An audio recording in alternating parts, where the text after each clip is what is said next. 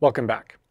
Okay, we've been talking about hypothesis testing, which is a really central idea in statistics about making statistical statements about your data, what distributions it comes from, has something changed in your data, things like that.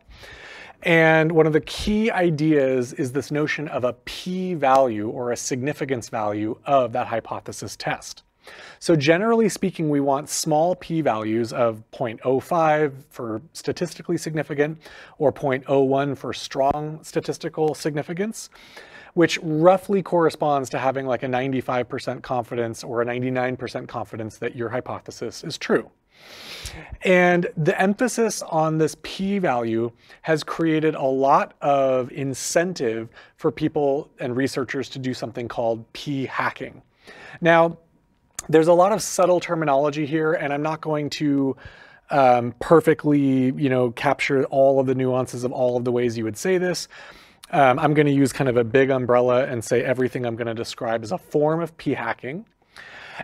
Sometimes people do p-hacking uh, on accident. That's quite common. Sometimes people do it maliciously or fraudulently. Sometimes it's a combination of both. And if you want to be a really ethical, honest, good scientist, you have to be super aware of these pitfalls and what can go wrong. So roughly speaking, p-hacking is a bad way of doing statistics where you only report experiments that yield significant p-values while ignoring or omitting non-significant results.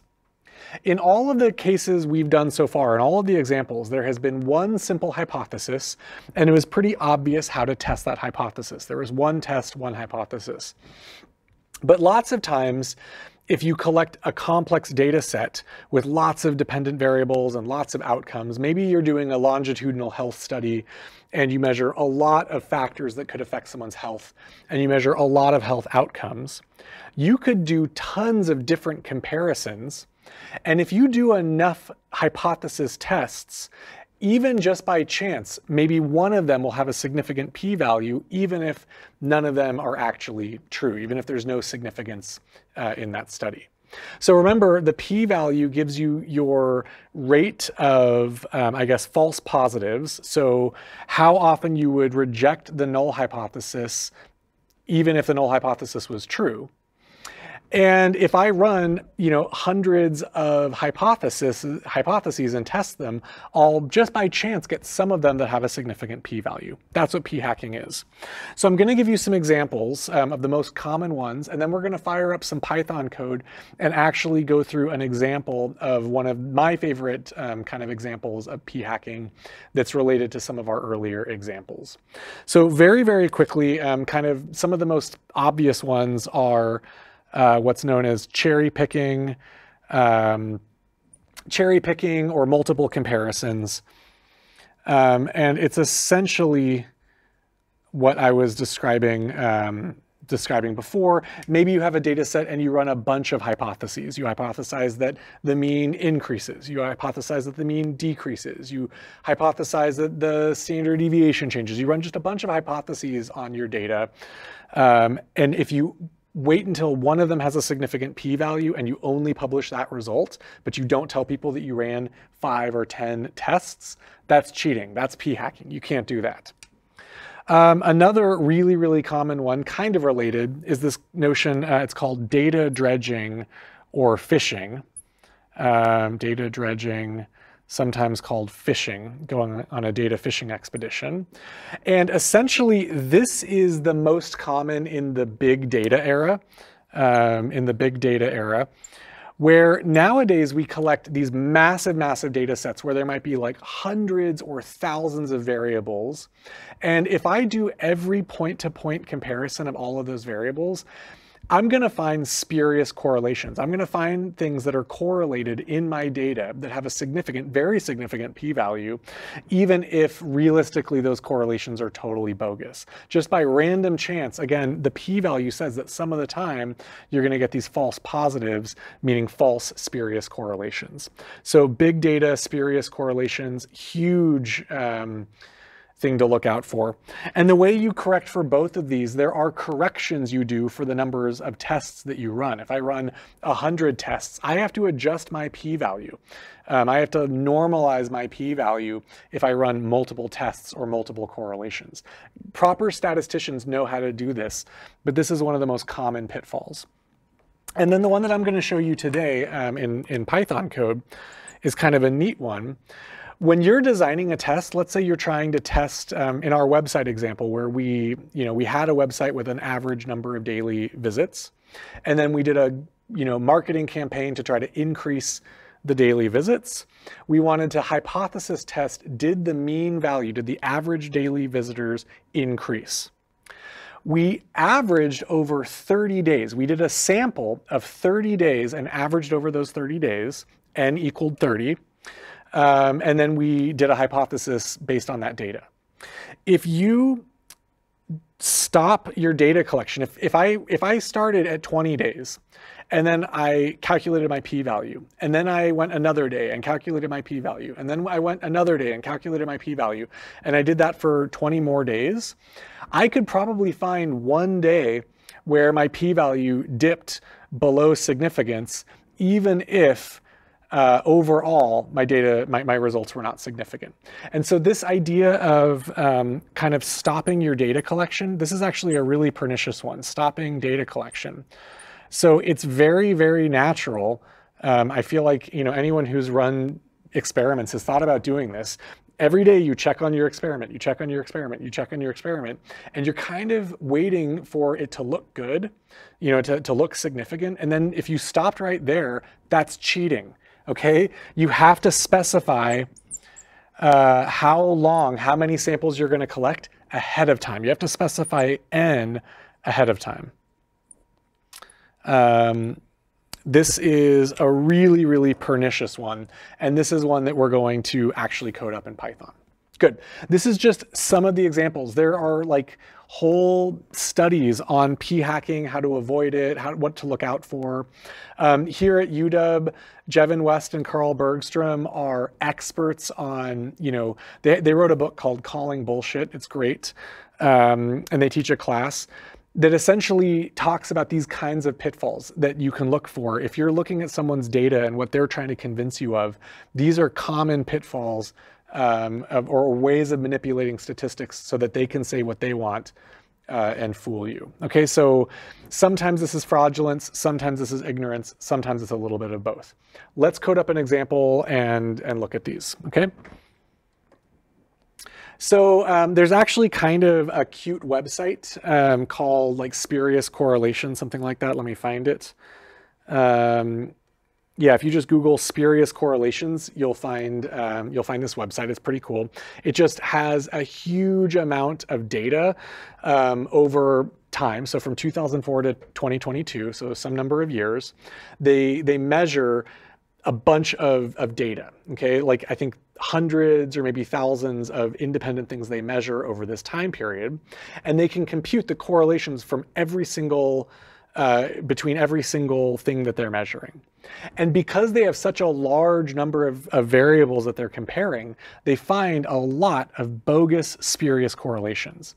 So this website is kind of, um, its, its purpose, I guess, is to try to educate people about spurious correlations and this data dredging fishing issue. So, um, you know, popularity of the first name Dexter with Google searches for Bing, probably if they have nothing to do with each other, this has a significance, a p-value that's less than 0.01. This is strongly statistically significant if you don't correct for the number of comparisons.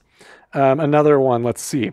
We have a number of articles Matt Levine published on Bloomberg versus nuclear power generation in France. Looks super correlated. Clearly, these have nothing to do with each other. Okay, again, a p-value less than 0.01. Um, this is maybe my favorite, American cheese consumption with BlackRock's stock price. Again, um, statistically significant if you don't correct for the number of comparisons. This one, you know, uh, is my favorite one.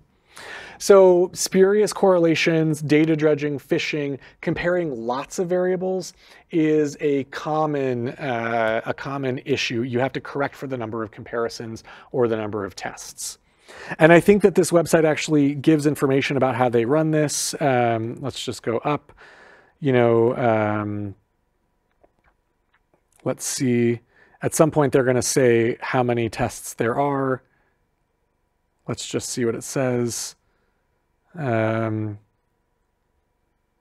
well, if you go to this website, you'll you'll you know um, you'll be able to figure out like some of these. There's you know this is correlation number two thousand seven hundred and thirty four. So clearly they have a big set of of uh, of variables that they can compare against each other. So there are thousands of comparisons that they're running to get these significant p-values. Okay, um, yeah, the why this works um, would be kind of where you would look at it. So, um, okay, so there are 25,000 variables in this database, which means that you have you know this enormous number of comparisons. So you're almost certain to find some subset of them with significant p-values, even though it's totally spurious and uncorrelated.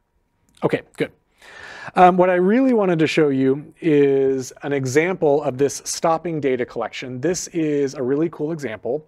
And I was thinking about this when we were doing that website example. That's when this kind of came into my head as an example where I could show you um, a concrete example of, of p-hacking. And so um, this is actually a code I wrote in collaboration with uh, ChatGPT. It's pretty easy to do. Um, my original prompt was pretty simple. Uh, I said, I'd like to set up um, a Python script to demonstrate the danger associated with p-hacking. I want a code that generates random coin flips with a fair coin and then computes the p-value uh, for the hypothesis that the coin is fair or not. Okay, pretty simple. And then what I want to do is I want to start with an n equals 20, and I want to keep flipping a coin until n equals 50. And for every single one of those extra coin flips from 20 to 50, I'm going to compute the p-value and then plot the p-value. Okay, pretty simple idea. GPT got really, really close, um, but not perfect. Um, so I actually modified the code slightly to fix it. I'll tell you what it messed up um, maybe at the end of this, but I'll just show you the corrected code. It got really close. And later I asked it to correct the thing it messed up and it corrected it and wrote a really nice code. So what we're gonna do, um, we have essentially I'm using a random seed of 41. You'll notice GPT always uses a random seed of 42. I asked it why, and of course it's because it's the answer to um, you know, the fundamental question uh, of the universe, right? Um, I changed to 41 for this case. And okay, we have an initial number of coin flips of 20. So I need at least 20 to make sense of computing a p-value. So I'm going to start with 20 coin flips. And then I'm going to go up to a max coin flip number of 50. So I'm going to flip 20, then 21, 22, all the way up to 50. And from 20 to 50, we're going to compute the p-value, and we're going to store that list of p-values and plot it. Really, really simple. Okay, um, so for the number of flips uh, in n values, so from uh, 20 to 50, each time we flip a new coin, a new flip, we append it to our list of coin flips. We uh, calculate how many heads there are, and we do a binomial test um, to see what the p-value is associated. We think that a fair coin is binomial with probability one half. And so we test, is that number of heads consistent with a binomial distribution? That's our hypothesis um, that we're testing. And we get a p-value. I'm glossing over a lot of this. You should write down a null hypothesis and confirm that this is correct. And we append that p-value for that coin flip to our list, and then we plot a bunch of stuff. So let's run this code. Okay, we run this code. And lo and behold, this is what we get. So this is the p-value versus the number of coin flips. So on my 21st coin flip, I have a p-value of, you know, 0.18. It fluctuates around. It's not significant, not significant, not significant.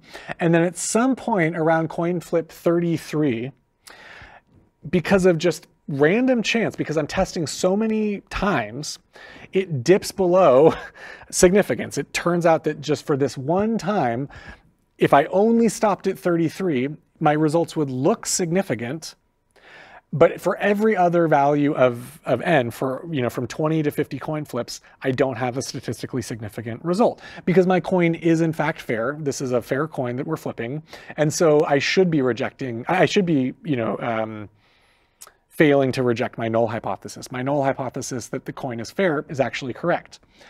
And this shows you if I stop my data collection when I get the result I want, if I keep testing and testing and testing and testing, what I've essentially done is a bunch of uh, hypothesis tests, and I've kind of diluted the meaning of my p-value. I have to correct for that number of tests if that's what I'm going to do.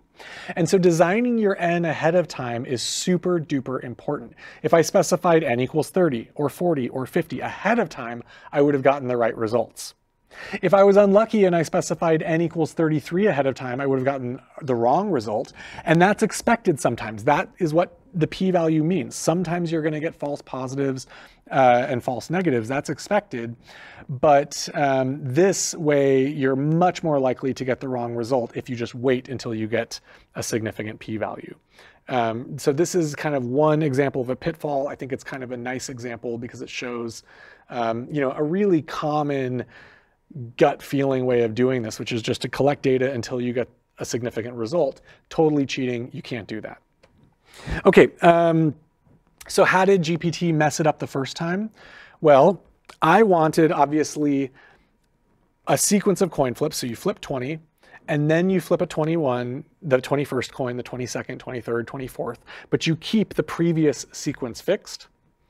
The first time I asked GPT this prompt, it incorrectly created a sequence of 20 flips and then a brand new sequence of 21 flips, and then a brand new sequence of 22 flips, which isn't what I asked for.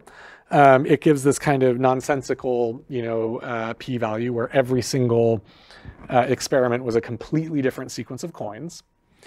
Um, the good news is it's really easy to, to fix if you know what you're looking for. So this is my, you know, uh, corrected code. I asked and I said, you, this is close GPT, but I want to start with 20 coin flips.